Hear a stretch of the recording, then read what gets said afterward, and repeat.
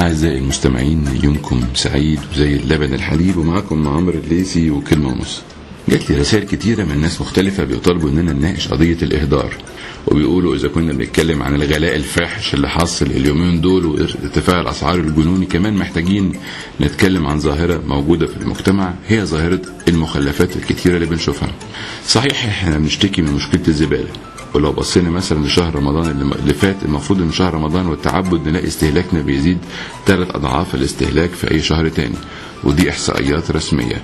وقال لي أحد المواطنين إن ممكن تكون موائد الرحمن أو غيرها بتسبب ده لكن كمان لو بصينا نلاقي إن في ناس بترمي في الزبالة أطنان من الأكل ونلاقي مفارقة إن في ناس تانية بتاكل من الزبالة. ناس بتاكل من الزبالة دلوقتي. ده بيأكد إن في مشكلة أو عيوب محتاجين ندرسها ونعالجها.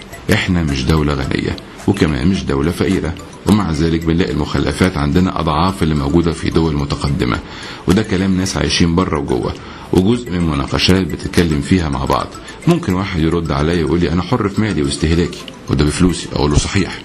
لكن إذا كنا بنتكلم عن الدين والسلوك والأخلاق يبقى الدين بينهي عن رمي الطعام في الأرض أو إهدار المال.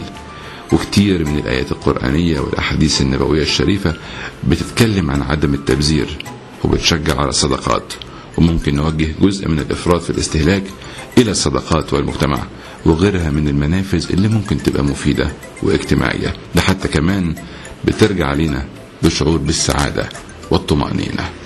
يا ريت تكون رسالتي وصلت النهارده. كان معاكم عمرو الليسي وكلمة ونص. وبكرة كلمة ونص.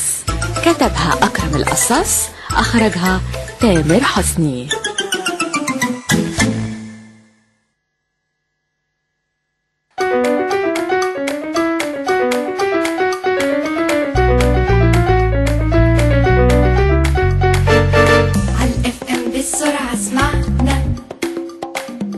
دايما معانا نجومنا نجومنا.